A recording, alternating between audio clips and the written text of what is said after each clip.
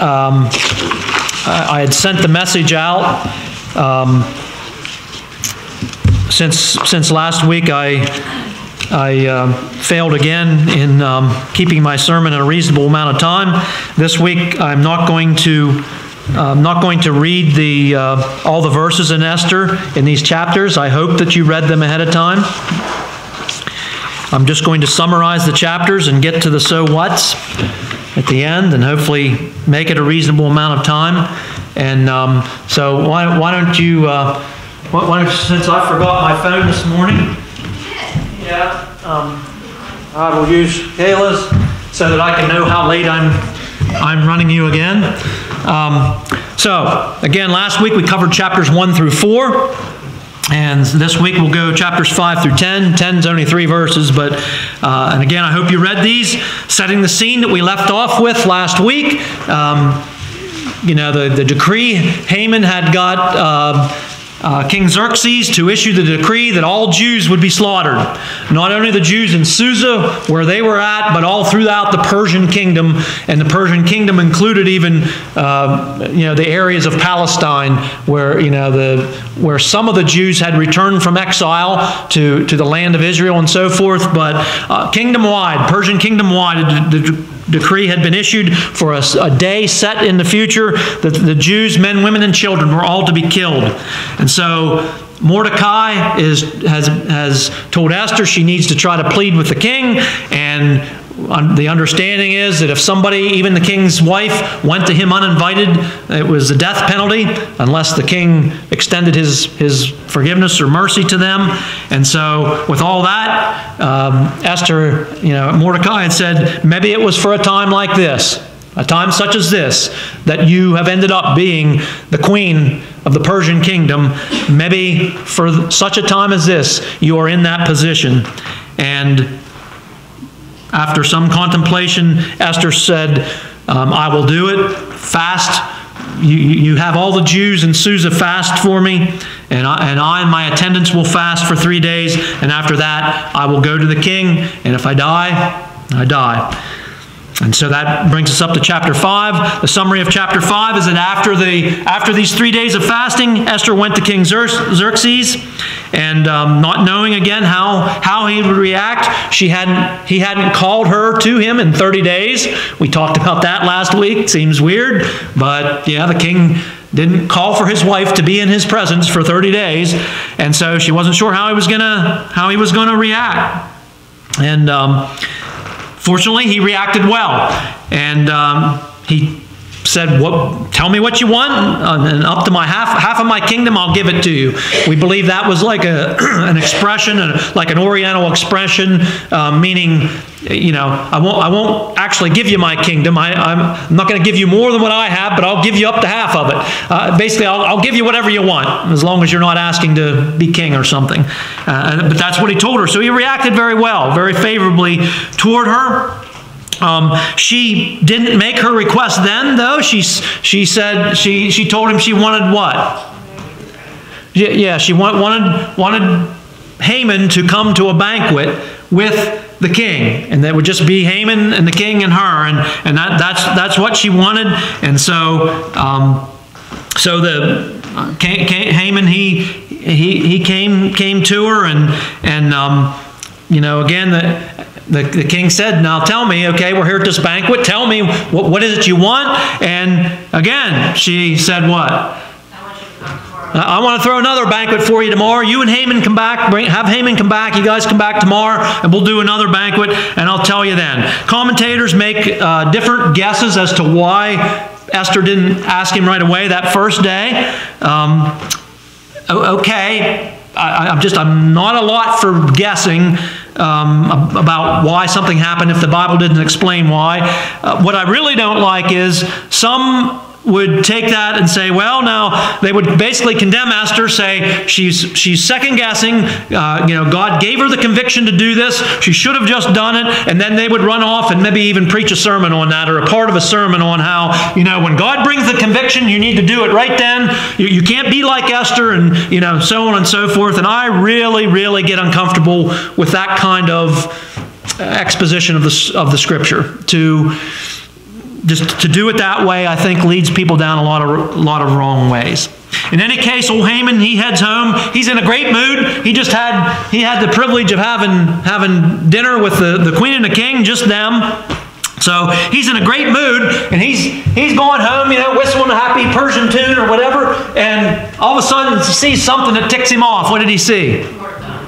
He saw Mordecai who refused to show any fear of him. And so Mordecai had been like the thorn under, under his, his saddle, you know, the, the, the burr in his, in his backside.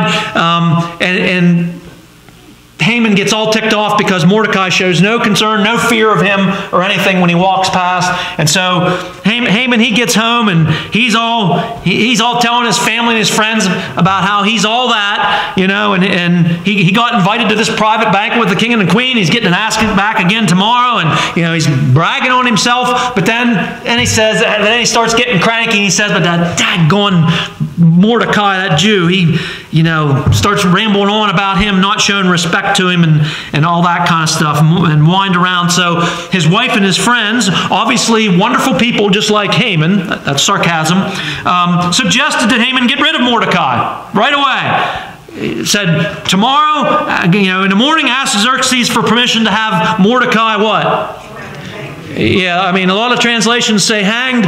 Uh, more Bible scholars, more modern Bible scholars think, and some translations say impaled on a pole. That they, the Persian people didn't execute by hanging, it was by impaling people on poles and, until they died, and oftentimes letting them on the poles even after they died as a display of, of warning or whatever. And so Haman, man, he they, this is his wife and his friends told him this. So old Haman, he says, uh, hey, what? Hey, that's a good idea. I think I'll do that. Because he's so full of himself and thinking how wonderful he is in the king's sight right now and so forth. He says, that'll be great. And he's so confident that, that Xerxes is going to give him the permission to do that, and he did what? He actually put like a scaffolding up, a, you know, a gallows up, a high thing, and mounted this, this pole that, that Mordecai would be impaled upon up at the top of this really high scaffolding type structure. He had that built. And, and already, because he was so sure um, that Xerxes was going to give in to give, give him what he wanted. Chapter 6 summary. Bible scholars see the hand of God in the many quote unquote just by chance happenings in chapter 6 and in the rest of the story. Chapter 6 begins with King Xerxes just by chance unable to what?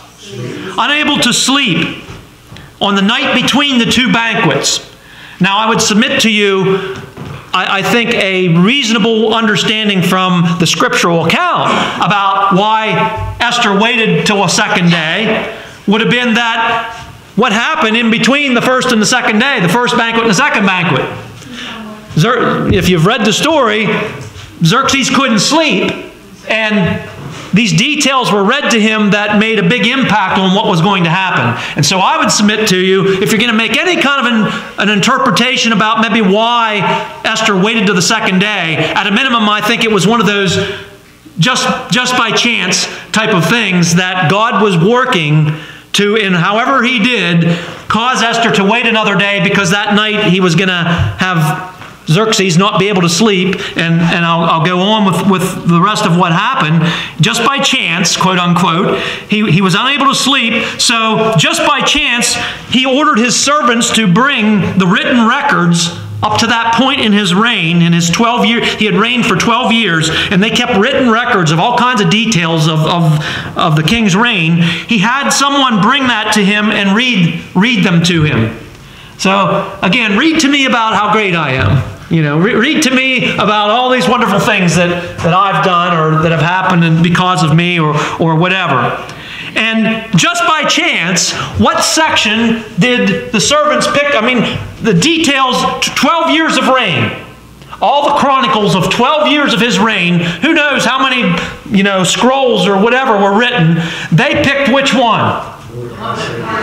Four years prior to this night, not exactly, but around four years prior to this night, Mordecai had overheard, remember from the sermon last week, Mordecai had overheard of a plot to kill Xerxes. These guys that were responsible for protecting him were going to kill him. And so he saved, he, Mordecai actually saved the king's life that night, Xerxes' life that night. And it just so happened that that was the scroll that these servants got out and they're reading about it. And Xerxes, you know, can kind of see him, you know, he's laying in bed hearing all this stuff about himself and he hears that and he sits up and he said what to them? Yeah, how did, how did, how did we honor this, this Mordecai guy for what he did? Like, apparently either the king didn't even know or he'd forgotten about it or whatever, but he says, what, what did we do to honor this guy that saved me? And the servant said, What? Nothing. Well, nothing was ever done. And the king says, We're going to have to do something about that. Well, just, just by chance, again, hours after this all happened, who came to see the king? Haman came to see the king for what purpose? To, to get permission to kill this Mordecai. All this just so happened, right? And so, after all this just by chance stuff, Haman arrives, and before Haman can say anything to, to Xerxes, the king, the king asks Haman, how, how would you say that a man who pleases the king should be honored? Well, what do you think old Haman thought? Yeah, the king's talking about me. huh? he, he, he, he wants me to tell him what, what he should do to honor me. Uh, oh, cool. Cool. You know, Haman, he's still he's still thinking he's all that, right?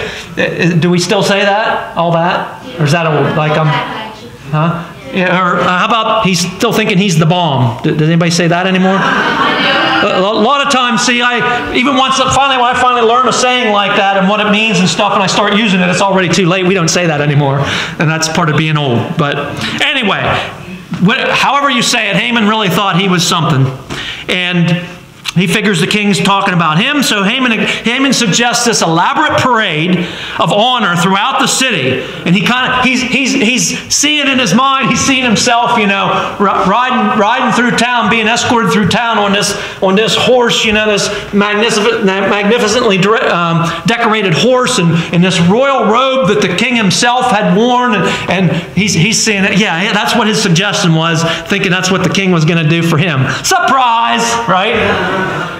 The king says, Very well. Then you see to it that Mordecai the Jew gets honored in such a way. And Haman, you, know, you see the, you know, the cartoons when you watch the cartoons and the jaw goes out of the floor? That's what I see old Haman. I, I, I bet his choppers are hanging and he's like, oh my, what? I came here to ask to have to kill that stinking guy. And oh my word. And Haman walks out there, you know, he walks away from the king with his snoot dragging on the ground. And oh, amen. And then the king told Haman to actually be the one to escort. Haman's actually leading the horse with putting the robe on Mordecai, this guy he hates and was going to kill, and he's leading him all through town and, in, in honor and, and telling people to honor him and everything. And Haman is like, oh my word, this didn't work out so well. This didn't go well. Well, Haman returned to his home in humiliation, and his, his wonderful wife and friends basically, uh, it seems like they saw the writing on the wall. they, they saw his demise, Haman's demise. They, they saw, like, this, yeah, that didn't go well, and I don't think things are going to go well for you in general. This doesn't look good. And they basically told Haman he was toast. Now, do we, do we still say that? Like, do you still say someone, someone's toast? Uh, no, probably not. It just means like they're, they're done, they're cooked, their goose is cooked. I know we don't say that anymore. Again, I'm old, but we, we would used to say like if some, somebody was, you know, if somebody like even in baseball was up, he's, he's bat, you know, he's batting against really good pitcher, you know, we would say this guy's toast he's going to like whiff him, you know. I mean, stuff like that. Anyway, they basically told Haman he was toast. He, you know, he, he, was, he was a goner. And so at that point then, Xerxes' servants came to whisk Haman away to what? To the second banquet. Back to the sec- second banquet.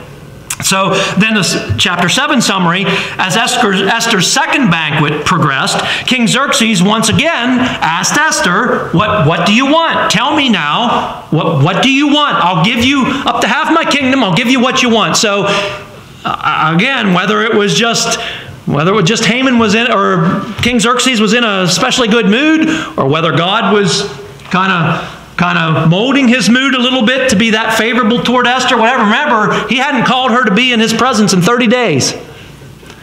So, and I said, suggested last week he may have even been having dalliances with one or more of his concubines during that time. Who, who knows?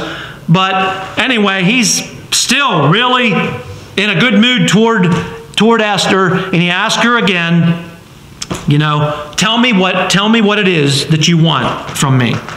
I got to believe her heart was pounding at that point. You would you would have to think so. I think she still believed that there was at least a possibility that this might not go well.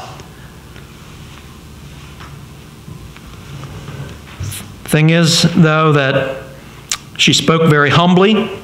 She spoke very submissively to King Xerxes. She asked for her life to be spared and that the lives of her people would be spared as well. They had all been doomed to destruction, slaughter, annihilation, she told him. Now, at this point, I'm not sure that Haman or that Xerxes still understood that this people group that she was talking, her people that she was talking about, were the ones that he had gave Haman the, the authority or the approval to put the law in place to have them all executed. I don't know that he's putting the pieces together yet here. Because if he, if he would have been, I don't think he would have asked the next question. Because she's saying about that this is what's going on and that all her people are to be annihilated. And, and so and, and also, if you go back to chapter 3, Haman never actually mentioned the Jewish people. He just said, there's this people and they do things, they don't do things the way we do. They don't do stuff that you want them to do. They're just different. And, and I think it would be best for you if we just get rid of them. And they're throwing back wine. And, and Xerxes says, yeah, cool, go, you know, get rid of them. But you read the account, Haman never actually said it was the Jews. Or he certainly, and Haman didn't even know that it was actually Queen Esther's people. He didn't know she was a Jew. And so all these things were, were happening in the background. And so, again, at this point, the king's, the king's saying, you know, he, he gets furious and he's saying, who, who ordered such a thing? Who, who did this? Who, who would dare to destroy the queen and her people? And uh, Esther basically turns and says, well, uh, That scum bucket that's sitting beside you throwing down wine with you, that vile Haman is the one who has set this all up. And I'd say at this point, Xerxes is like stunned. He's, he's enraged. He, he, he kind of storms out of the room, goes out into the garden. I think he's probably trying to like put all these pieces together, like okay, yeah, Haman got me to sign that decree, and I didn't know, you know, I didn't, certainly didn't know it was Esther's people, and I, I didn't know she was, and, uh, and he's, he's putting this, and the more he's going, and the, the he's getting. In the meantime, Haman, he knows it's looking like he's toast, right? And so he starts pleading with Esther for his life.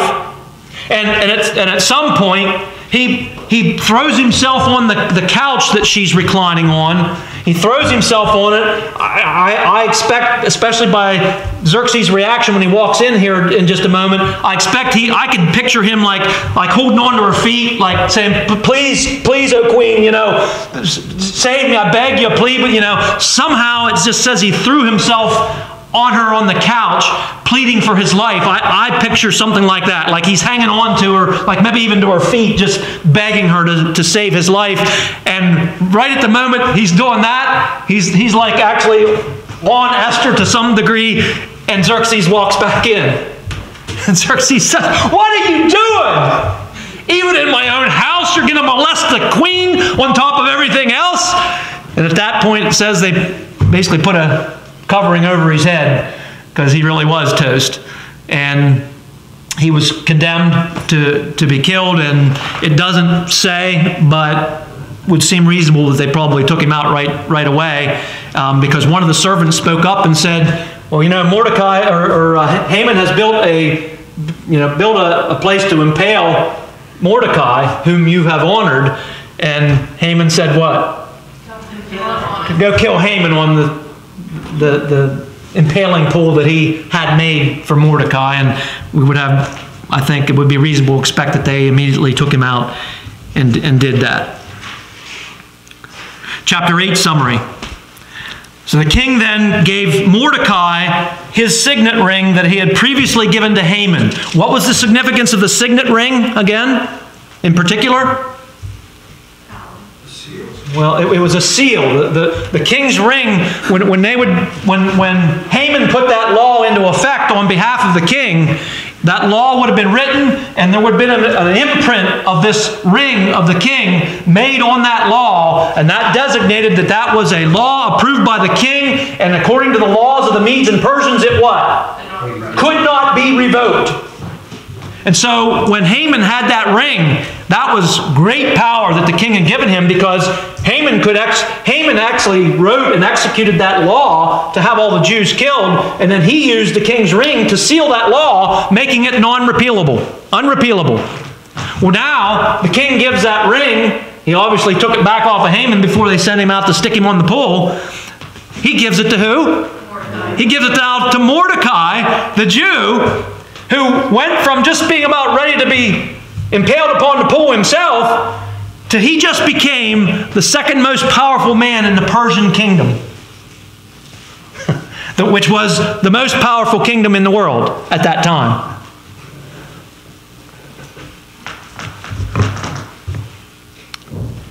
Well, again, that gave Mordecai the same great power to act in the king's name that Haman previously had. But there was a big problem that still remained. What was the big problem?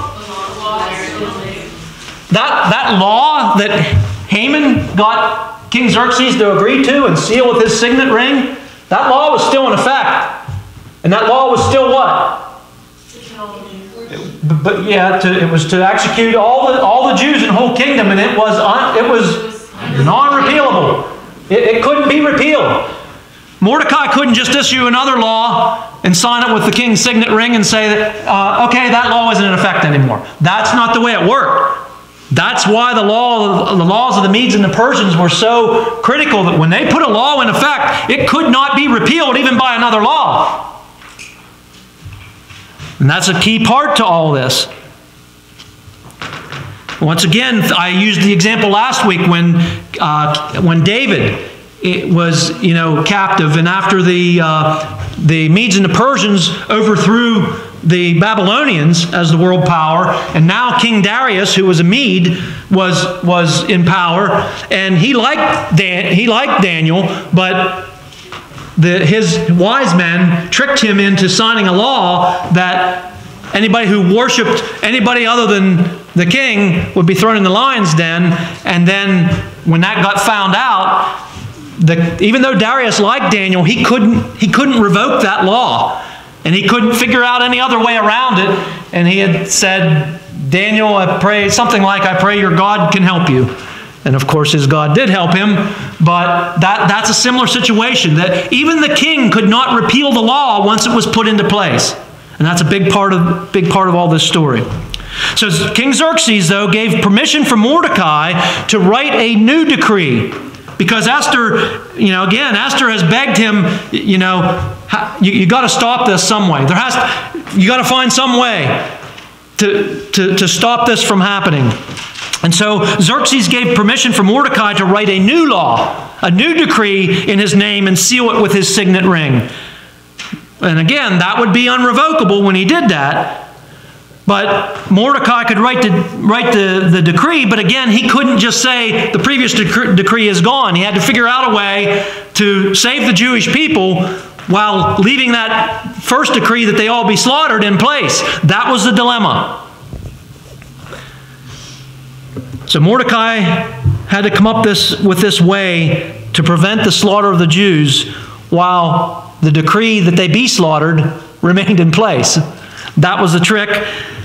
And, and especially for people who, I think this is really important to understand the rest of the story, especially for those who would um, have a problem with the way this ends up and the fact that there are people that end up getting killed, uh, many people who were enemies of the Jews. But you got to understand it was the only way that it, that it was going to prevent the Jews from being killed. And I could digress on a lot of things with this, but I won't with my desire to, to stay reasonable with time today. I'm, I'm going to resist a very strong urge to give you some comparisons to today, but I will not. Comparisons about self defense and other things, but I'm not going to do that. Chapter 9 summary. When the day originally decreed by Haman for the slaughter of the Jews came, remember, it was a future date. And all this stuff happened, that date still hadn't come yet, obviously. And so that date's still in the future. So, whenever that day came to be, summarizing chapter 9, the, the, uh, the triumph of the Jews was complete because they were given the authority to defend themselves. And, and they were given the authority even to um, even to pursue those who were enemies against them within the Persian kingdom, those who hated them, to take them out before they would take the Jews out. Because when, when, when the decree was issued, people still, you know, even, even after this change in the power structure and stuff, and remember, you're talking about all through the Persian kingdom, but there were still people who were on that, on that day set out to kill Jews, even after all this other stuff happened.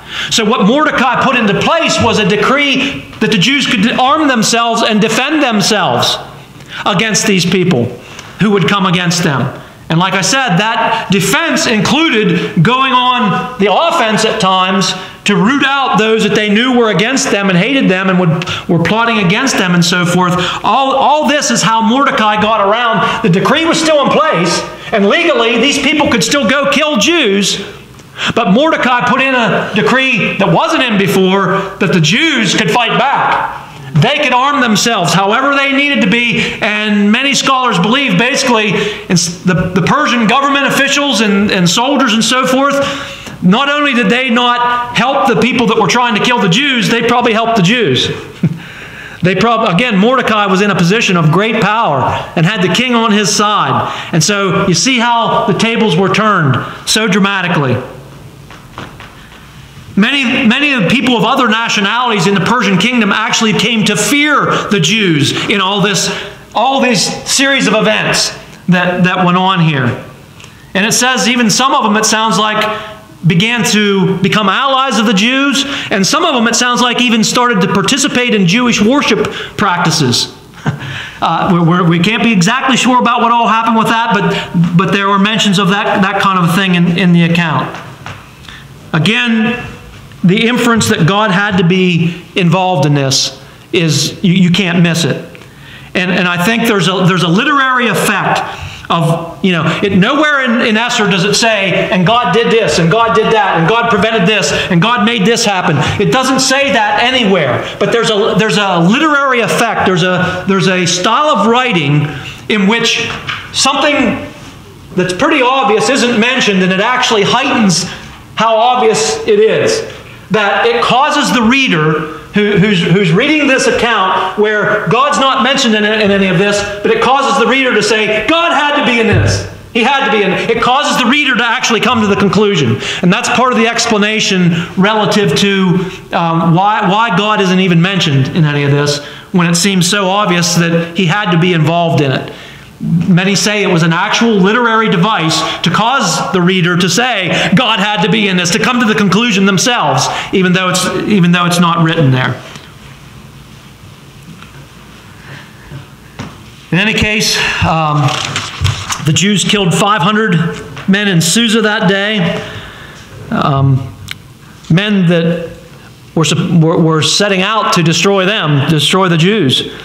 The ten sons of Haman were also killed. And after their death, post mortem, they were, at Esther's direction, impaled upon poles to display them as, as a warning you come against the Jews, here's what's going to happen to you. And again, a lot of people get uncomfortable with, oh, I don't know if I can deal with that. Esther, you know, even after they're dead, Esther, Esther, Esther directed that these dead sons of Haman be impaled on poles as an exhibit don't mess with the Jews type of thing. But that's, that's exactly what it says.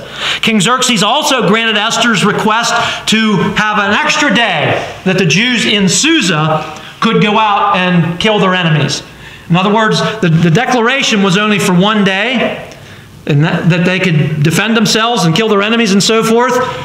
That, you know, that Mordecai put in place, but King Xerxes actually allowed a second day that the Jews could do this in Susa, but nowhere out, nowhere outside of the city of Susa in the kingdom, but just, just in Susa. And so in Susa, then, then they went on, on the offensive for another day, and, and um, in the rest of the kingdom, on the first day, 75,000 of their enemies were killed.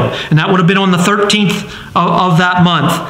But the conflict in Susa went on the 13th and the 14th, and that's the reason behind, if you've read the account, that's the reason that there were actually celebrations on two days, the 13th and the 14th, because in Susa, they actually did involve, they were involved in the conflict two days, whereas in the rest of the kingdom, it, it was, only, it was only one day.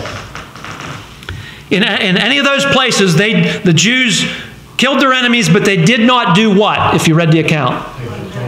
They did not take any of the plunder. They did not take any of the, the valuables and the, you know, the things of the people that they killed. And the only reason it could seem to be that why they didn't do that is they, they wanted there to be no question. They didn't go on, they didn't do this to get rich out of it. They didn't do this to gain possessions. They did this because these people were going to kill them. It was, again, an act, albeit of a short warfare, but it was an act of defense not, not for them to gain riches. And so again, the differing days of the original uh, victory celebrations, they, uh, you know, in both cases, after the two days in, in, in Susa and the one day in the rest of the kingdom, you know, after the one day in the rest of the kingdom, the rest of the kingdom, the Jews held this big celebration. But in Susa, the Jews were still actively pursuing their enemies. And then it was on the day after that that, that they actually had the big celebration. So there were celebrations held on two days. The rest of the kingdom outside of Susa on the, on the, the day after the first day of the offensive, and then the, the, the Jews in Susa itself after the second day, because they were the only ones that had the second day. And that, that led in again to two days being observed in the celebration that was actually declared that the Jews were supposed to remember thenceforth going forward. And every understanding I have is that Jews today still observe this festival, this feast, which is called what? Yeah, Purim or Purim, and that, that comes for, uh, from, as I'm, I'm, going, to, go, going to describe here, that when, when, Haman, when Haman decided what month and day all the Jews were going to be killed, how did he do it? How did he decide what month and day it was going to be? He essentially rolled the dice. He, he cast the pur. And, and that word pur was a reference to a, a lot. Cast a lot. And, and, a lot, casting lots was like drawing straws, rolling dice, flipping coins, what, whatever. Just a, a, an act of chance. And that's how Haman determined the month and the day that the Jews would all be killed. And that now, that pur, that act of him casting the lot, that pur turned into the feast of Purim. Purim is actually the plural of pur. The, the feast of Purim is a remembrance of all this stuff that went on. And they usually started out with Esther's fast on the day before remembering when Esther and her attendants and all the Jews in Susa fasted for three days, the day before the, the day of Purim, the, the Jews fast, Esther's fast, and then on, on Purim, and actually their fast goes over two days. It goes, of course, the Jewish calendar, the Jewish calendar, the days went from like six o'clock one evening till six the next evening, so it covered two of our calendar days, and there's a lot of stuff involved that way. But basically, on Purim, they they start out with a fast, and then they have a day of celebration and giving of gifts, and just time of, of joy of remembering how God delivered the Jews who were to be slaughtered and annihilated, and how God delivered them through Esther and Mordecai, working through Esther and Mordecai on these events that we read through in, in, the, in the, the book of Esther. And so, chapter 10 is just three verses. It simply comments on how powerful King Xerxes was, and it makes a summary statement of how Mordecai the Jew rose from being hated and nearly assassinated under the rule of Xerxes to becoming second in power only to the most powerful man in the world, Xerxes in the most powerful kingdom of the world at the time, the Persian kingdom. Would seem like a miracle, right, for all that to happen? Some of us might even say it was an act of God, which, of course, is the conclusion that many of us believe that's what we are being herded to all the way through the book of Esther. God was sovereignly protecting the Jewish people as he always has, as he always will. Many things are described in the book of Esther that surely were beyond anyone's control but God. And what irony! King Vashti, a Persian woman, was kicked out of the throne, and Esther, a Jewess, was put, in, put on the throne. Haman, in the second highest position in the kingdom, who hated the Jews, was brought down so that Mordecai and the Jews, who were the ones who had been hated, ended up with power and honor. A decree that would have wiped out the Jews was overcome by a decree that led to the destruction of 76,000 of the Jews' enemies. And the casting of a lot, the pur, which was intended to lead to the annihilation of the Jews, instead resulted in the establishment of Purim, a celebration of the salvation of the Jews and their victory over their enemies. Now, close this up. I'm, I'm not doing too bad for me um, here today. Finish this up with my so whats. Okay? All that was, again, these narratives, that's all background information, understanding the book and so forth. But okay, so what for you? So what for me? First of all, Proverbs 16:33 says, "The lot is cast into the lap, but it's the lots, every decision is from the Lord." It's basically saying every roll of the dice, the outcome on the dice is of the Lord. Now, real quickly, because I don't want to end up taking too much time, but that doesn't mean that every time someone rolls the dice that God changes what it turns out to be. But sometimes He does. That's the point. Either way, He's in control of it. He can change anything, He can cause anything to be whatever He wants to be. That's what Proverbs 16:33 is talking about. Martin DeHaan II said this Most people would say that the results of casting lots, drawing straws, rolling dice, and stuff like that are nothing more than pure luck, just a matter of chance. But from the Christian's perspective, there is no such thing as pure chance. God is either directly or indirectly involved in everything. Now, what have you heard me say very often that's similar to that statement? God either causes or God allows everything. And that, that echoes what Martin DeHaan II said. Continuing Martin DeHaan II's quote, he says, God can therefore be trusted and obeyed in any circumstance because even the smallest details are under his control. End quote. Things don't just happen to people who love God. They are planned by his own dear hand. Then they're molded and shaped and timed by his clock. Stuff doesn't just happen. Stuff is planned by God. God is behind the scenes, and God controls the scenes that He is behind. Steven Cole wrote this There is no such thing as luck or pure chance. The Bible often teaches and illustrates the doctrine of God's providence. What is God's providence? That's His sovereign supremacy and control and superintendence over all the universe. That is God's providence. And God's providence, Steven Cole says, should be a source of great comfort and instruction for every believer. It means that God is not distant. God is not passive in things, sitting back and saying, well, what happens, happens. God is not unconcerned with the daily events in our lives. When we face trials, we should trust God's providence to work out His plan for our lives, even whenever it's a not good situation for us. God is actively controlling or directing even evil events and even people, evil people, in such a way as to accomplish His purposes, His sovereign will. But He's not the author of evil, and He's not responsible for evil. See Ephesians 1:11. But no evil person, no evil act changes or thwarts God's sovereign will.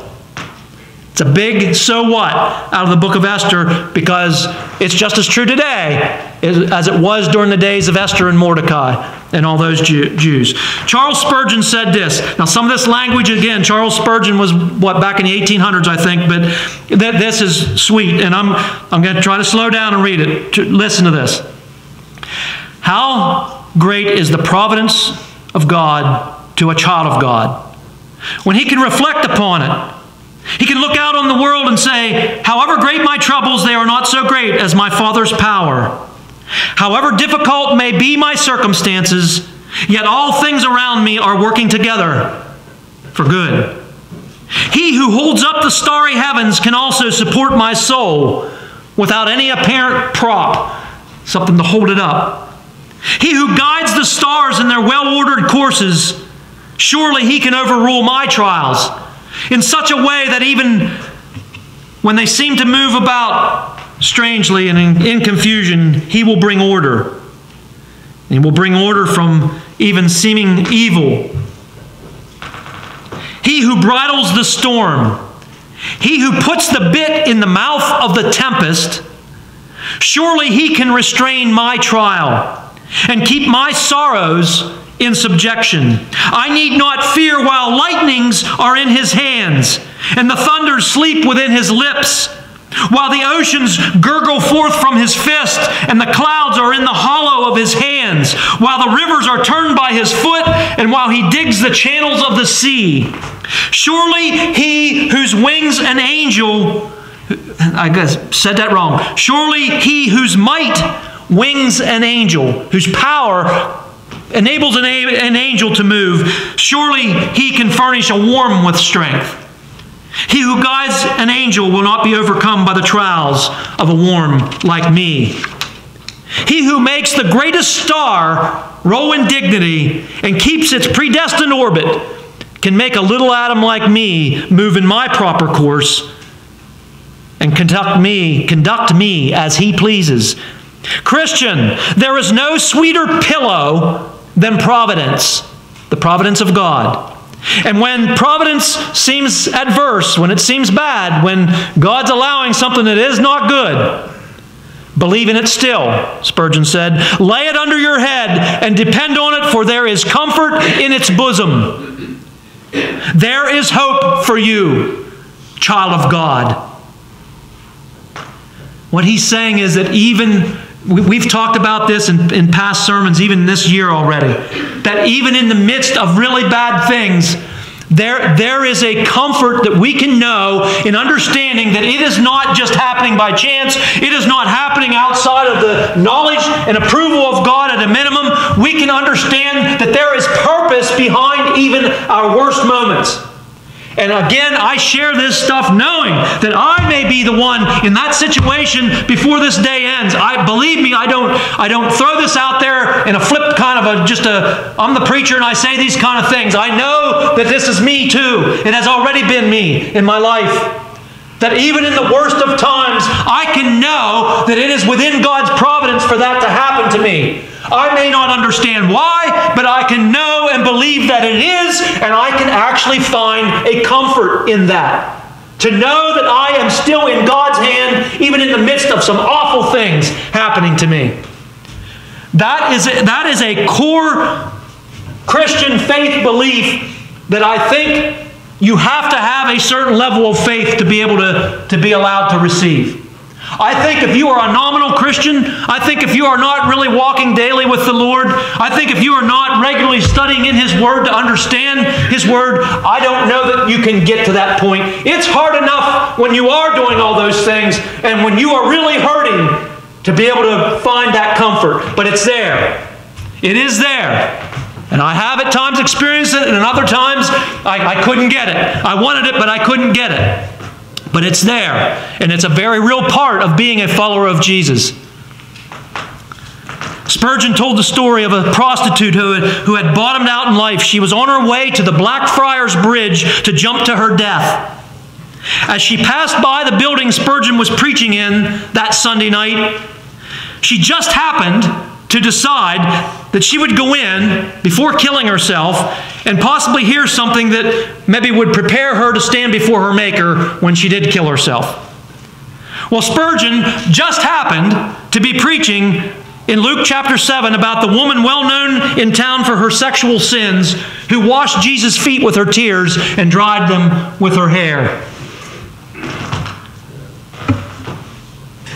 And as she did that in sincere repentance, of her sins when she was before Jesus that night. As Spurgeon preached that, the prostitute was that, that had heard Spurgeon's words that night was blown away with the thought that she would hear herself described and her life pictured in that account from the Bible about the woman who again wet Jesus' feet with her tears and washed his feet with her hair in sincere repentance. That prostitute could not fathom that she walked in there and heard that that applied to her to a T, she who was on her way to take her life.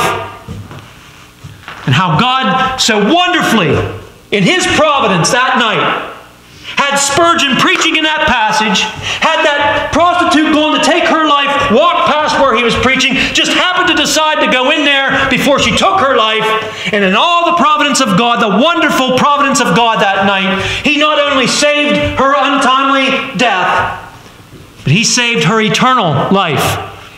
As she, like that woman before Jesus, though Jesus wasn't physically there, shed her tears, and it was as though in her repentance that she wiped the feet of Jesus in sincere repentance that she came to, to him that night. And instead of dying, instead of killing herself, went forward from that point that night as a child of God. What wonderful providence of God.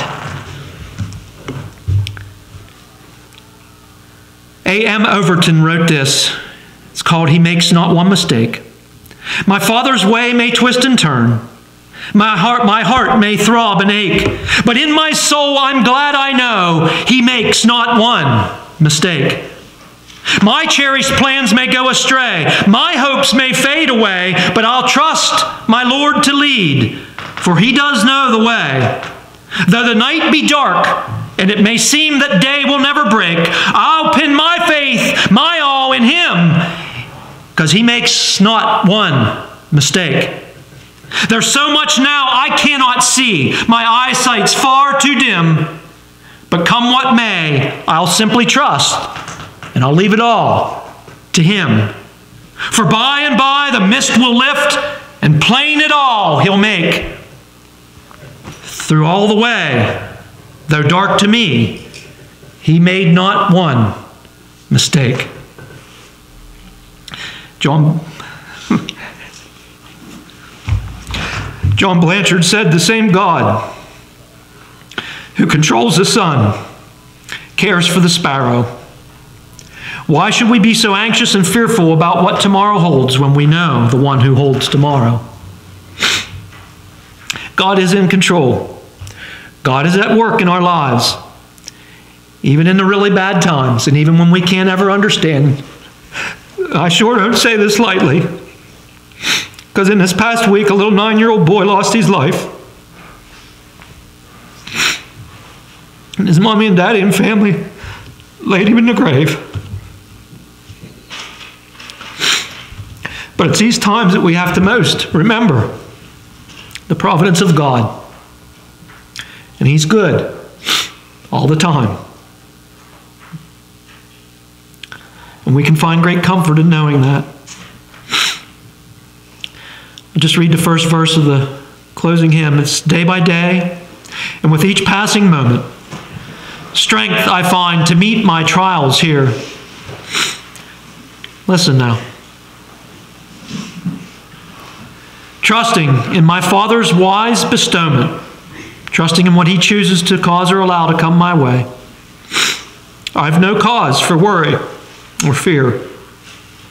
He whose heart is kind beyond all measure gives unto each day what he deems best. He lovingly gives us both pain and pleasure and mingles toil with peace and rest. The closing hymn is 718 day by day, and I'd ask you as you sing that, what, watch the words, as you always should. Sing the words. Watch those next two verses too, the truths in that. Might we be able to live by faith in a providential God who loves us and is in control of things even when the worst of life comes our way. 718, day by day. Please stand as we sing.